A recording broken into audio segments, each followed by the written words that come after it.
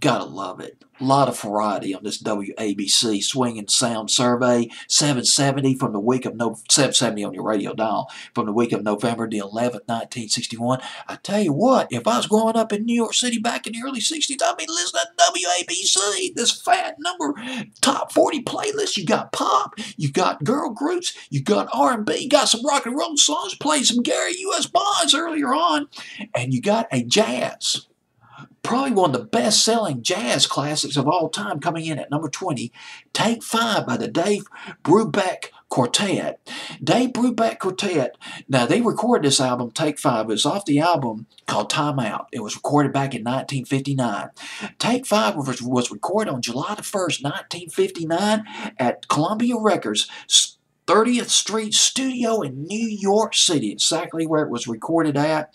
And uh, Two years later, it was released and became a one hit wonder. It went to number 25 on Billboard's Hot 100.